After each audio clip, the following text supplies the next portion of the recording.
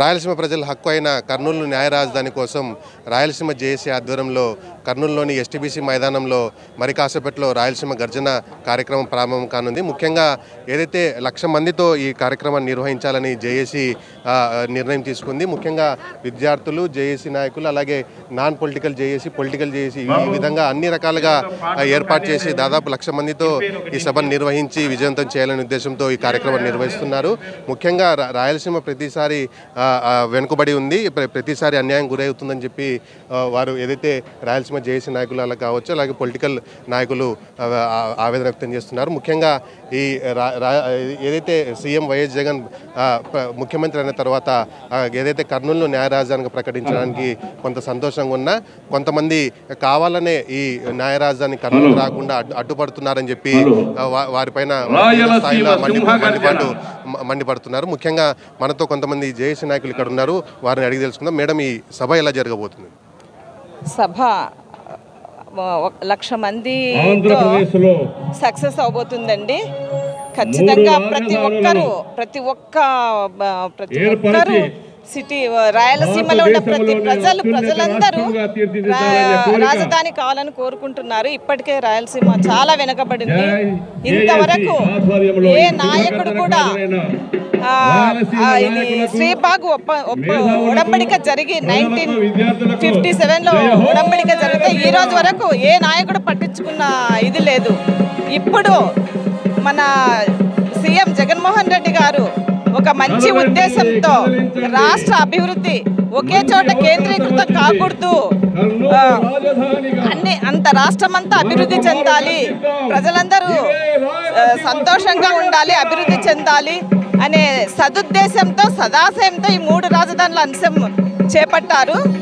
మా- మేము కూడా కర్నూలు వాసులు అనుకోండి మేము రాయలసీమ వాసులము చాలా హ్యాపీగా ఫీల్ అయ్యాం న్యాయ రాజధాని. కానీ మన ప్రతిపక్ష నాయకుడు చంద్రబాబు నాయుడు గారు దీనికి అడ్డు వేశారు.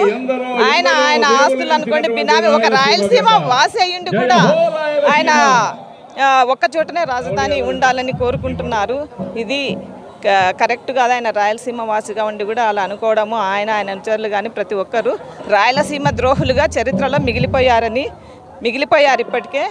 కాబట్టి మేమంతా మా పోరాటం ఆగదు. రాయలసీమ వాసులు మా న్యాయ రాజధాని సాధించుకునేంత వరకు మా పోరాటం ఆగదు విద్యార్థి చేసిన మీరు చాలా కాలం నుంచి పోరాటాలు చేసుకుంటూ వస్తున్నారు. అయితే మీకు చాలా చాలా వరకు అన్యాయం జరుగుతూ వస్తుంది. ఇప్పుడు ఈ గర్జన ద్వారా మీరు ఏం చెప్పబోతున్నారు విద్యార్థి చేసులు తరతరాలుగా నిరక్షరాస్యతకు వలసలకు కేంద్ర బిందువు అయినటువంటి ఈ రాయలసీమ ప్రాంతం.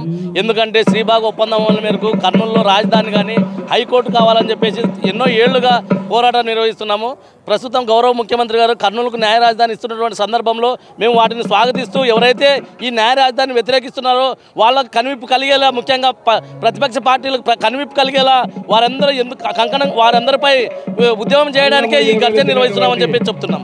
ముఖ్యంగా రేపు సుప్రీంకోర్టులో రాజధానికి సంబంధించిన ఇష్యూ నడుస్తుంది.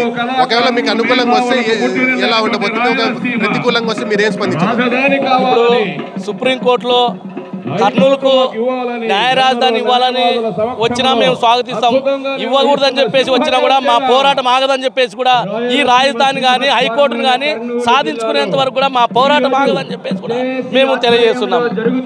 పరిస్థితి మరి కాసేపట్లో ఈ రాయలసీమ గర్జన అయితే ప్రారంభం కానుంది. అయితే దీనికి సంబంధించిన ఏర్పాట్లు అయితే జేఏసీ నాయకులు పూర్తి చేశారు.